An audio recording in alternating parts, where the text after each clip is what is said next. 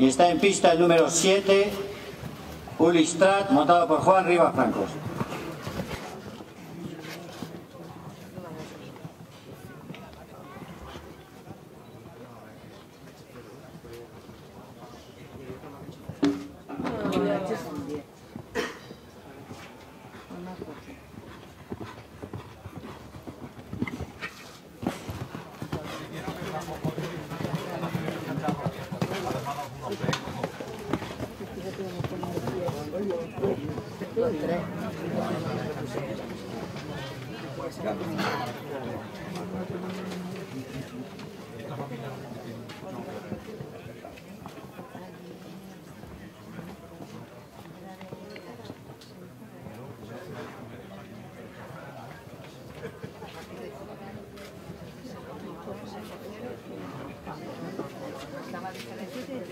Grazie.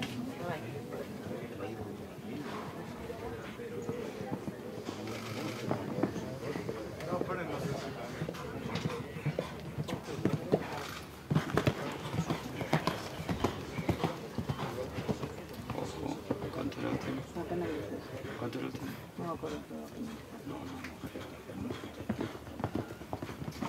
No, no, no.